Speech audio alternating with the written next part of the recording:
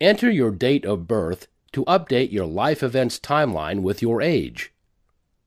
To update your birth date, click the Change button. Once you have completed an entry, click the Timeline button to see this event added to your life events timeline.